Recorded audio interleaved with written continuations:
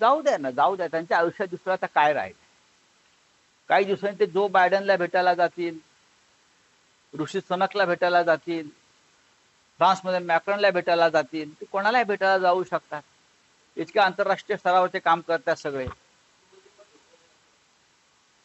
असं त्यांचेच लोक म्हणतात मी म्हणत नाही.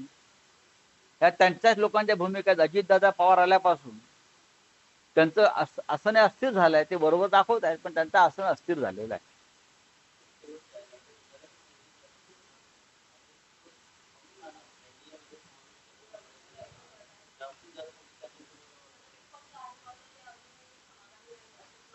म्हणजे कोणाला करणार आहेत ते? ते नवीन पक्ष स्थापन करतात का त्यासाठी? म्हणजे एक मोदी सफर भारी ही त्यांची घोषणा आहे.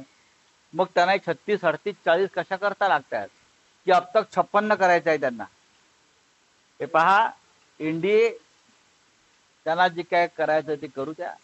पण इंडिया इंडियाची निर्मिती ही या देशामध्ये दोन हजार चोवीस साली सत्तेवर येण्यासाठीच झालेली आहे. हे सगळ्यांना माहिती आहे. म्हणून ही एनडीए वाढवायच्या गोष्टी चालल्या आहेत. कालपर्यंत एनडीए कुठे होता? अकेले मोदी तीनसो चारसो पार करेंगे.